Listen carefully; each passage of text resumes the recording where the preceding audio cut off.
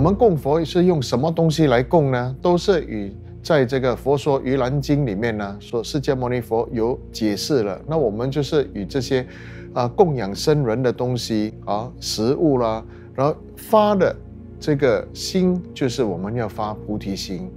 我们发的这个菩提心，我们供就是讲说，我们供佛是为一切众生而成佛，一切诸佛名念众生。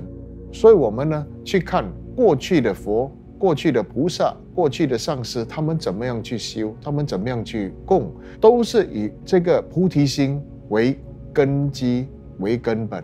我们发这个菩提心，都是为了一切众生。那我们怎么讲是为一切众生呢？就是我们供佛。